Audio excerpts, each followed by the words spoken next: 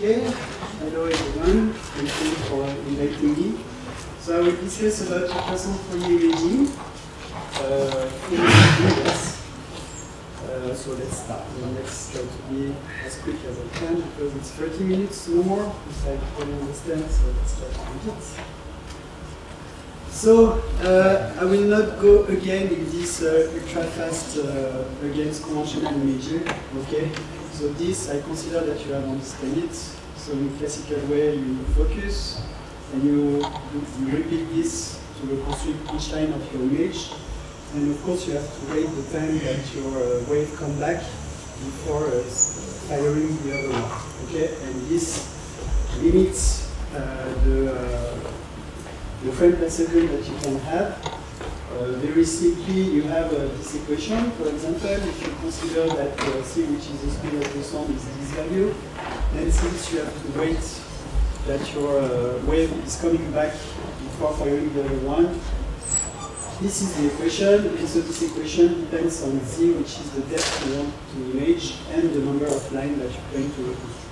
Okay, and so typically, if you want to image something at 5 centimeters, with 128 lines, you can go up to uh, 100, 120 frames per. Okay, and so in ultra-fast imaging, uh, the idea is to try to reconstruct uh, more than uh, some thousand frames per sequence. Okay, and if you have a look on the different method in terms of techniques that have been proposed, you have two kinds of, of uh, method. You have the spatial-based approach, okay, and you have the Fourier-based approach. So I will discuss about the Fourier-based approach, but just before, I need to explain very briefly the way the spatial-based approach uh, works. Okay. So okay, you emit a time wave. Okay. Then you wait to receive the information. Okay. And by doing so, of course, you don't uh, need anymore this number of line coefficients. And so, virtually, if you go up to 5 centimeters, you can then obtain this uh, 15,000 uh, frames per second. But of course, since you deliver less energy in your medium, you will get uh, a lower contrast with uh, worse resolution compared to the conventional one. Okay, so globally, a lower image quality. And so one idea to uh, tackle this problem is to do compounding scheme, which means that instead of firing only one plane wave, you will fire several, several steer plane wave, okay, in order to reconstruct the same medium. So one particular target will be seen through different insonification angles, and by doing so, you try to limit the artifact that you will get if you reconstruct only using uh, one plane wave, okay? But then, if you do that, you have a new coefficient that appears, which is the number of steer wave that you will use, of course, to reconstruct your image. But you can play with this value, okay? And so if you just use one plane wave, of course, you go back to the maximum uh, limit, which, which is here for 5 centimeters, 15,000 frames per second. And uh, if you start to use more and more uh, steer plane wave, of course, you decrease your frame uh, per second, and, uh, but you can still uh, obtain uh, quite high acquisition. Okay. Why does the plane wave has to be steered? Because Why? you spend send energy outside of your region. Of yes, the, the very the, the most important thing is that imagine that you have only one uh, point scatterers. Okay. If you reconstruct this image of the point scatterers, you will have a typical artifact that will appear. You will have your point with uh, yeah, artifacts. And the idea, if you then uh, fire with a steer plane wave, this artifact will not be exactly the same. And by doing the summation, then you will suppress those artifacts and you will uh, increase up the signal information. So this is the reason why you really need to, to do this theory. Okay.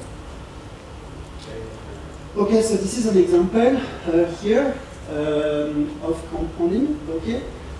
So this is an in vitro example from physical phantom. Uh, here I make vary the uh, steer plane wave in emission from 1. So this is the first uh, image that you see that appears, which is this one, up to 75 steer plane wave, for example, uh, just to show you the effect of this compounding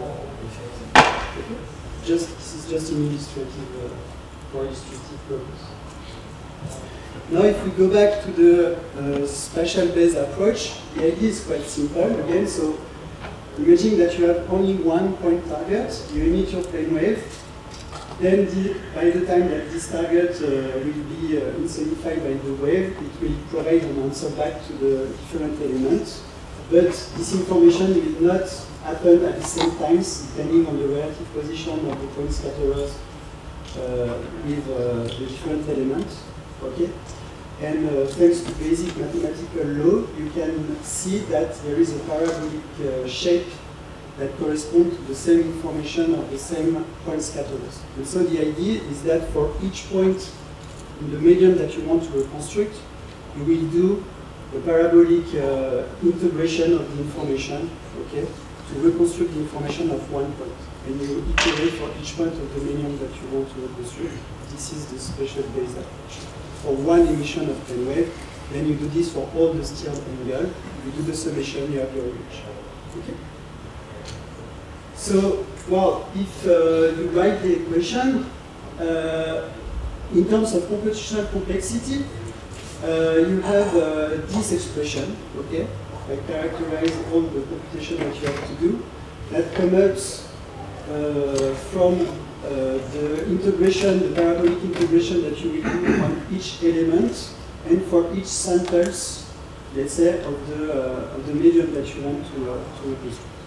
So this is, uh, let's say, uh, the point where I want to be just before speaking about image. So the two questions that I will, uh, I propose to answer today about this Fourier-based imaging reconstruction is first, can we do the same but in the Fourier domain? The answer is yes, more or less, let's see. And what would be the benefits? And the benefits comes up with a reduction, potential reduction on the computational complexity. So if we come back to a conventional imaging uh, formation, so this is a, a, real image, a real acquisition, and of course you can display the Fourier spectrum of this image. Okay? And with this Fourier spectrum, there are very strong properties, okay?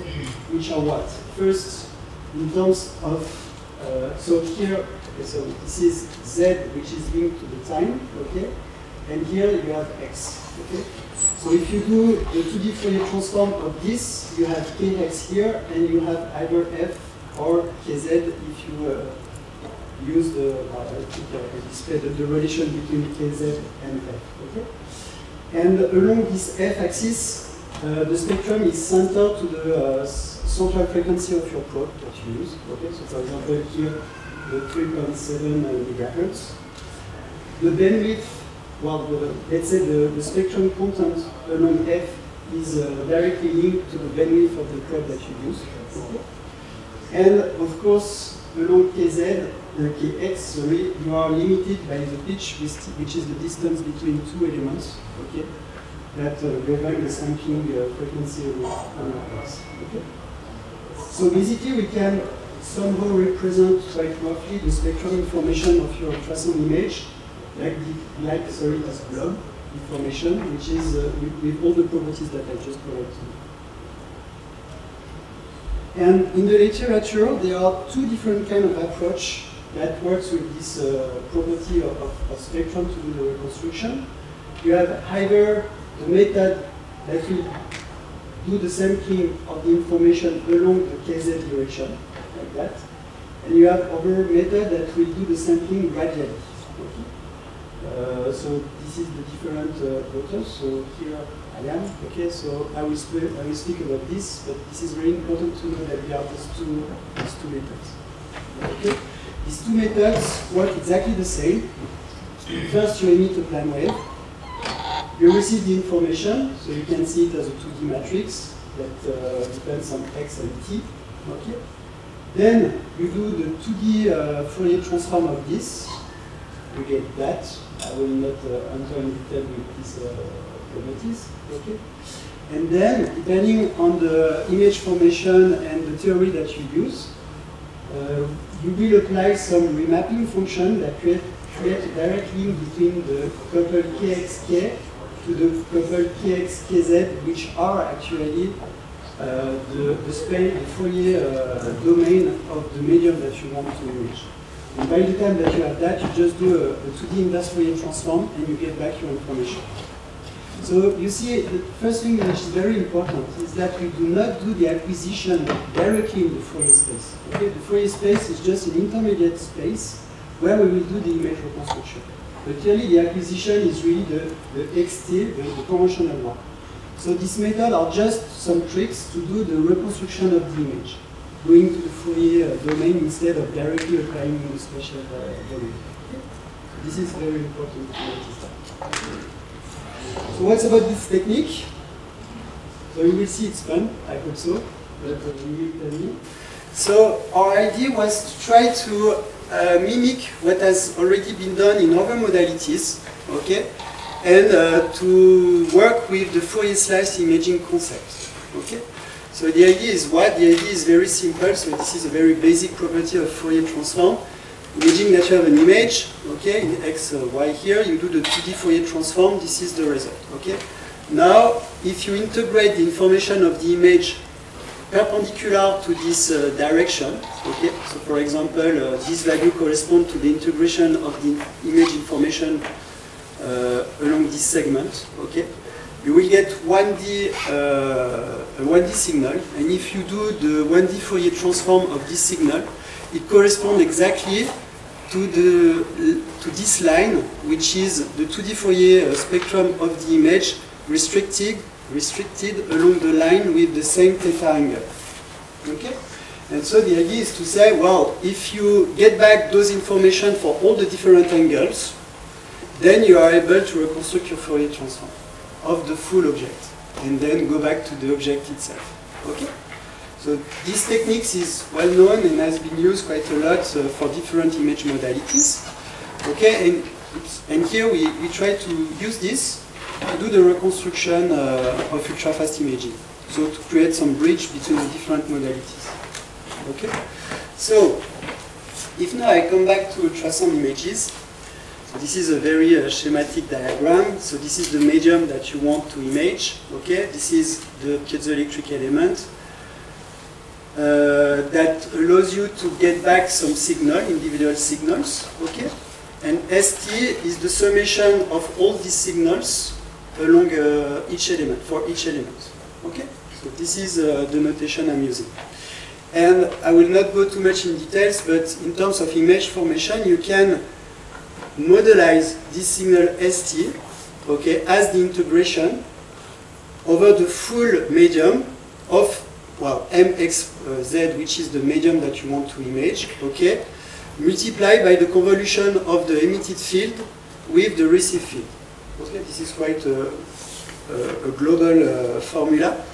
But in the particular case where your emission is a plane wave, and in reception you will receive as a steer plane wave, then things happen and are quite uh, interesting, and there will be a direct link with this Fourier slice imaging stuff. Okay? So this is exactly what I'm saying here. What we have done is just that we express, uh, I will not go too much in details in the equation, but we express the emitted field as a plane wave perpendicular to the probe with the direction NE, okay? And the received field as a steer plane wave with, a, with an angle xi that we will make it vary. In this particular case, we can show that ST corresponds to this equation, okay? This is the convolution of the emitted pulse, okay, with the received one, which we, we consider that this is the same one, okay? With the convolution of a direct function of a direct Dirac function, okay, where you make happens a normal NER, which corresponds to the basic uh, combination of your angle in emission and angle in reception. Okay? And if I draw this term, actually it corresponds to a line which is perpendicular to this NER. Okay? And so ST is what then? Well, you're doing this projection of the Fourier slice imaging stuff. You're integrating the information perpendicular to NER. Okay, this is ST. This is the trick of, of this method. And so, since NER, you can make it vary, because in reception, you do what you want, and so of course you will play with this xi value, okay? Then you are able to integrate with different angle, okay? So then what remains to be done is what? This famous ST signal, you do the 1D Fourier transform, and it can be very easily to show that it, doesn't work anymore. So, okay, great. Yes. You can uh, easily show that it corresponds to the 2D Fourier transform of the, of the object that you want to image, but restricted along a line, which is defined by theta, which is equal to xi over 2. I'm not going too much into this, but with the equation you can retrieve that. Okay? So the algorithm that we propose is very simple to implement. Okay? If you are able to emit one plane wave, then what, what you have to do is what? First, so as I say, you emit a plane wave, then you receive your signal. Okay, so this is very the basics. Then you apply delays on the received signal, okay, to uh, have a, a, to receive like a steer plane wave with a given angle, and this angle is linked with the delay that you apply. Of course, to go in a faster way, we do everything in Fourier domain, but here it's just a, a schematic way, so I show it in in spatial domain. Okay? But the delay, we work with uh, the multiplication by an exponential uh, in the Fourier domain. Okay? But okay, here you apply delays on your receiver signal. Then you do the summation of the delay signal. You do the 1D Fourier transform, and you have one line in your Fourier spectrum. And then you repeat that with different delay that you apply in reception to uh, densely recover your Fourier spectrum. Okay? So some proof of concept. So for example, here uh, I will show you result from a simulation using an in-house uh, software whose name is CREANUIS. We use a number of elements of 64 as transmit frequency of 5 MHz, the pitch and no apodization. So this is the simple phantom that we, we have, uh, we have uh, created. So uh, I think there, there, were 20 scatterers per resolution cell in the background and nothing inside. Okay, so there were an occlusion. Uh, we emit a plane wave, and this is the received echo. So of course, the received echo, you can't see anything. Okay? And then what I, the, the simulation I have done is the following. Playing in reception with my xi angle, first I will only uh, get the information along three lines, and I reconstruct the image. Then I do this, but with five lines in the Fourier domain, and I reconstruct the image, etc. To see the evolution and the influence of this sampling stuff. And this is what we obtain. Okay? So it's going quite fast, okay, but this is a schematic way. So this line are the line that we use to reconstruct each image, and we make evolve those lines. So we densify the spectrum that we want to recover, and this is the final image that we obtain. Okay? Now I discuss with you about compounding. So of course we can do the same, meaning that instead of using a single plane wave which is perpendicular to the probe, you can emit several uh, steer plane wave, apply this, do the summation. And so this illustrates uh, the interest of using uh, the steer plane wave uh, in, this, uh, in this example. So again, here what I'm doing is that each image I reconstruct this is the number in emission of plane wave that I'm using, but of course, then in reception, I'm using the full uh, densify uh, spectrum to reconstruct the image. Okay? So you see the evolution, and so you see the interest of this compounding scheme, but also the trade-off that you have. Do you really want to have the nicest image that you want, or do you want to acquire the, in a very fast way? So you have this possibility by playing with this number of plane wave that you use in emission. So this is some uh, result that we obtain in vitro. Okay, so uh, we use a Verasonic research uh, system. Uh, with the result I show you, we use 128 elements with 5.2 megahertz, a pitch of 0.3 millimeters with no apodization. So this is uh, on, uh, yeah, on, let's say on, this is the same phantom but not positioned at the same place. Well, it's just a kind of yeah, to show you uh, in vitro in vitro results. So this one we use it to measure uh, the lateral resolution, the evolution of the lateral resolution uh, with the number of steer plane wave, and this one we use it to show the evolution of the contrast according to the number of plane wave that you use. I do not show you the result here because I didn't find that it was so nice to show, but we of course use this to compare the results between the two different Fourier-based approach and the spatial-based uh, approach, and the results are exactly the same. Okay, there are some little difference, but it comes from the different interpolation scheme or whatever. But really, the, the value themselves are just the same. It's just a different way to reconstruct your image. I have a question on Yes. this slide. On the right-hand side image, right, about to define that we have two anechoics. Is that true? That, that one and the one to the left. But it seems that the one on the right side doesn't enjoy much of the contrast as much Yeah, as it's not a full ane- Yeah, because it's varying the dB range. It's Ah. not uh, with the same uh, attenuation factor. Okay. It's just that. So if I clearly remember, it's uh, minus 3, minus 6, minus 12 or something like that. So this is the reason why it's very like that.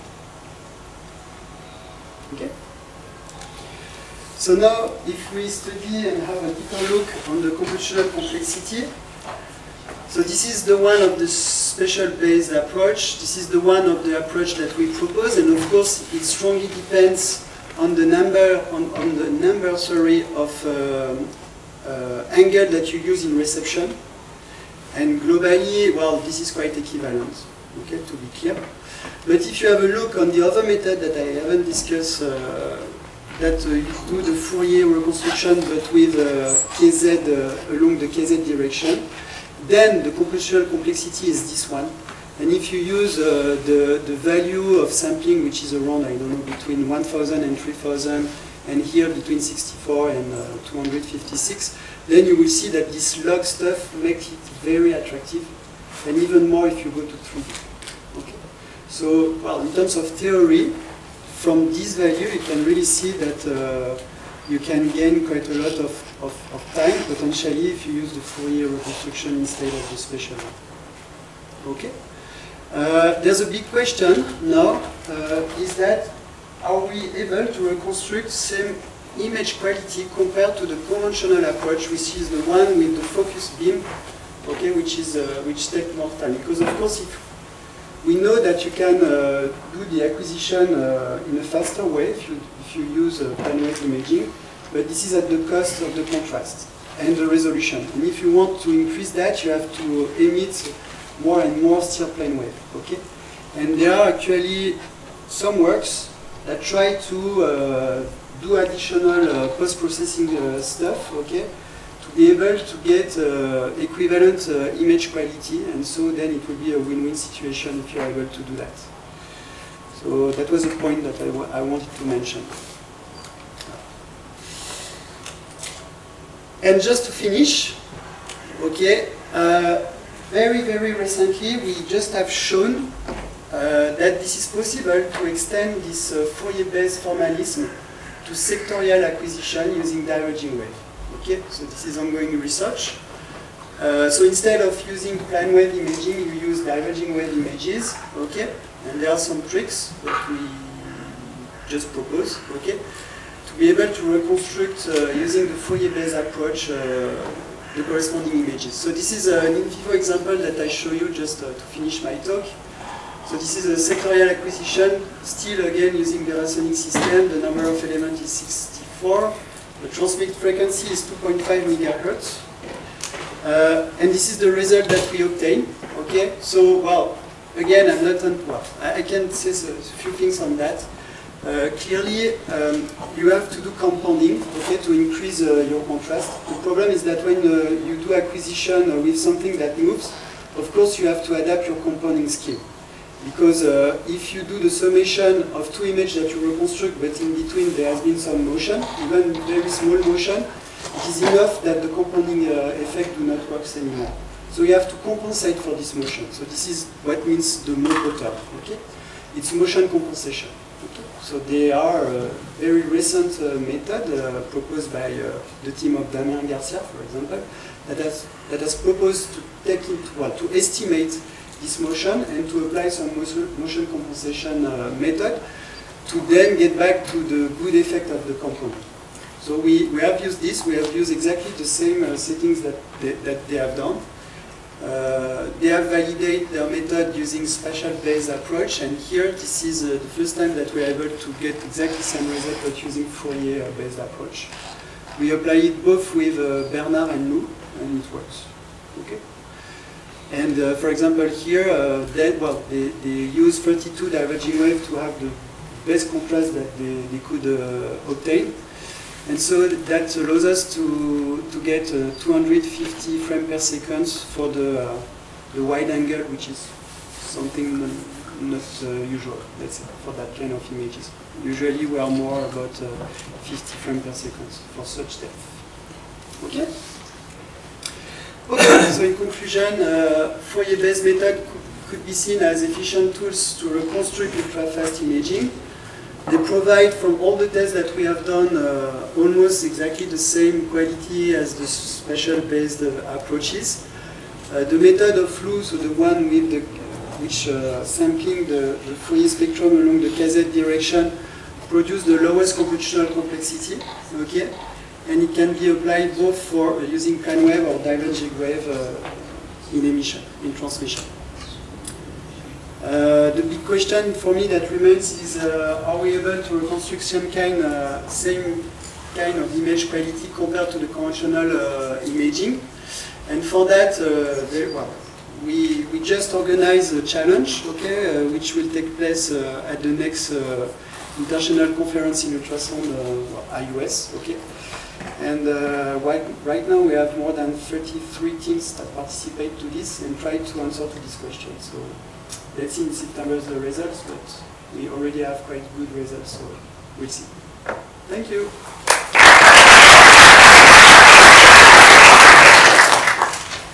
Do we have time for questions?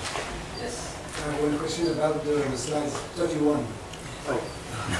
Did I make a mistake? No, no, no. On the slide 31, it, it seems that uh, uh, the algorithms will permit to avoid uh, uh, real compounding at the, at the uh, acquisition. Is right? No, no, because for example here you see, so um, there is no compounding, okay? And you will just emit one plane wave and you can clearly see the artifact. Here it should be zero everywhere, okay? And to suppress those artifacts, this is the compounding stuff that we have done here. It's not exactly on the same phantom, so that's why the phantom uh, changed a little bit, okay? So if you first. Uh, Yeah, the, the, the, the fir- well, it's a GIF, but the first image that appears with one plane wave is the result. You can think, you can see it as the result of that apply on another phantom. And then in emission, we combine different steer plane waves to suppress the noise uh, that was inside uh, this uh, occlusion. And to implement your algorithm on 31, you choose the, limit uh, angles. So, so it's quite easy to uh, estimate this angle because it's really linked to the spectrum properties, so the pitch and the central frequency and the bandwidth. So it's very easy to tune this. The, the, um, the parameters that is quite hard to tune is the sampling, uh, the radial sampling, okay? Because you can have interesting effect because since you, you, you control that, if you use a, quite a big one, let's say you have an intrinsic smoothing of your image. So for example, for the contrast it's perfect, but for the resolution it's not perfect. So it's kind of trade-off. And yeah, to be honest, uh, this angle is not so nice to tune. And also the directivity pattern of the elements, I guess. Yeah, so this we haven't really uh, worked on that. We, we just use the one that uh, we have from the from the Verasonic equipment, but we haven't tried to optimize those things. Because from the compound, you can Yeah. see that some angle does Yes. not change anything anymore. So it's, it might be the fact that the transducer cannot send energy on the side. Yeah. So you cannot Yes. have a 30 degree Yes. compound waves. Yes. I I think that, yeah, yeah, definitely, yeah, here, I think that here we can see that those regions are worse than this region. And clearly this is the effect of the compounding stuff. Because since you steer, well, this region you will have all the energy of all the, the steered uh, plane wave, okay? But those regions, of course, for the, the steered plane wave that you emit like that, okay, in this direction, they will never see those. And so, of course, the effect is not so nice, and so you can clearly see this effect uh, there. But we haven't tried to optimize anything, we just do steered plane wave, and, uh, because we just want, we just here wanted to compare the result between spatial based approach and Fourier based approach. Other question? Yes. Uh, well, I, I thought that uh, Montaldo has already shown that you can have equivalent images both in plane wave and focus imaging. The what, sorry? You, you can have equivalent images if you have enough angles. Yes, enough, but the idea is to try to decrease as much as you can this number of angles. It's angles. about a factor of 10. But like you can get an equivalent image with 10 times less uh, pulse echoes. Yeah, but the, well, the idea, of, for example, the challenge that we have proposed is that we, we have used all the, the different steering angle that you, you could uh, want to get access, and then the idea is to get the best result with the lower uh, uh, steer plane that you use. Uh, no, but my question is, uh, so you're remapping the Fourier in the Fourier domain. So Yes, it's a linear process. yes. Why don't you just remap in the time, time domain? Because, it, well, remapping in the time domain is the spatial-based approach, actually. Is uh, quite. you're doing Spatial the... based appro- approach is the linear sum, Yes. but it's not quite remapping. Yeah, well, from, okay, well, if you are able to, because there is no equation that uh, tells you directly in the spatial base, uh, or in the, in the space domain, uh, well, if you know any remapping function in the space It's domain. it's a time of flight, uh, it's a time of flight nature. Yeah, but I think that then you come back to this uh, approach of space-based, uh, because the parabolic uh, information that you get uh, comes from the, the time of flight uh, information. So I think it's that. Yeah, but the deviant sum is uh, more just smoothing the image. Yeah, but since we do, we're doing interpolation in Fourier domain, there's also this kind of smoothing effect. So I think it's, Well, no? I'm But we not can sure it's discuss that. equivalent, but uh, Okay. it's, uh, Another question? About the previous comment, if I understand it correctly, the, um, like the advantage is that uh, you don't have a relation between uh, your measurement and your uh, uh, object that is based on an integral, but in, the, in that other case, in the Fourier domain, you have a relation between one point in that domain and one point in that. And that's what makes it faster. Yeah. Yeah, well, uh, but yes, it's not direct, but because you, you, you have to do some integration or things like that in our method. But clearly, for example, with the Lu method, yeah, you have directly this, well, you have to pass to the, to the Fourier domain, so you have to apply those operations. But then, thanks to your remapping, one point corresponds to another point in the kx, kz. And globally, it makes the computational complexity lower. And. Benefit from the fast Fourier algorithms. Yes, yes. This log stuff comes from the Fourier, uh, oh, I don't have, uh, sorry, the Fourier transform. Yes? So yeah, this technique is indeed used in computer tomography, which is a tomographic uh, technique, and there they call it uh, 2D backward Fourier reconstruction. Yeah. It's exactly the same. principle. No, no, it- well, But there they assume a straight uh, line of uh, flight, so the, the X-ray photons that are emitted by the X-ray tubes, they, they just go straight ahead uh, through the tissue and they are received by the detector on the other side. yes, so this is why it's not exactly the same. And my question is, yeah, what's the assumption is, I mean, do you have to also assume the straight line of flight of the echo that's coming back, or how? No, no, it's really from, from this equation, it's just, okay. Um, so here you have only one um, uh, element that will do both the, the work. It's emit and it's receive. Okay, so you don't have this, uh, this stuff effect. Okay, but just by playing with the equation, okay, uh, you can say even if it's uh, the same uh, element that you use, uh, when you emit, you emit in in a certain way, so using plane wave, and when you receive, you receive a- in a certain way. And so here you uh, you make appear these uh, varying angles. Okay. Uh, yeah, exactly. But you use exactly the same element both for emission and reception. So Yeah, But the tissue doesn't know. Since it's pulse echo, you can think that the steered plane wave that you beam for that you receive, you can think of as uh, having sources behind the phantom and actually having tomographic. Yeah, well, it's really the trick again. Uh, it comes from this, uh, oh, sorry, from this equation that that create the link with this convolution stuff. Okay, that allows to say, okay, for one specific signal, the information comes from the summation everywhere, uh, taking into account uh, what you have emitted and how you have received. You see, so here you introduce the concept. Yeah. One question. You artificially apply in receive or you uh, also come up with with different? So in the method, what we do exactly uh, is it's just in terms of efficiency.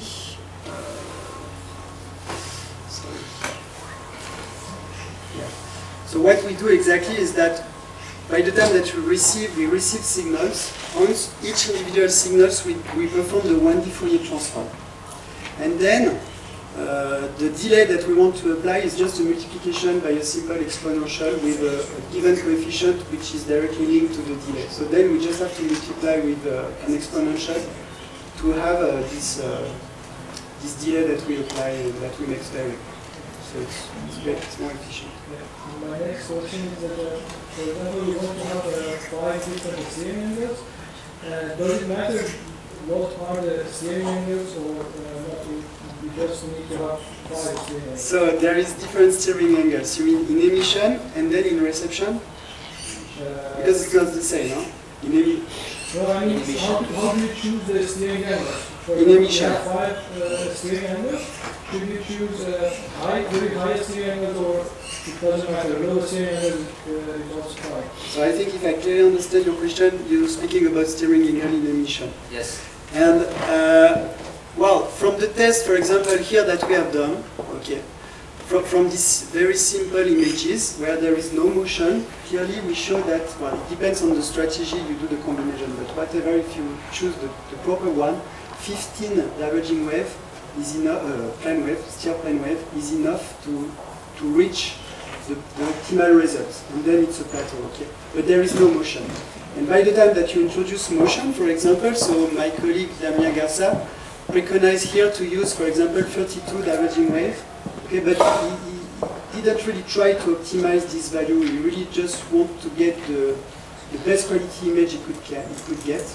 So of course, when you introduce motion, then uh, it could be more complicated, and it will depend, I guess, from the, the quantity of motion that uh, you're trying to image.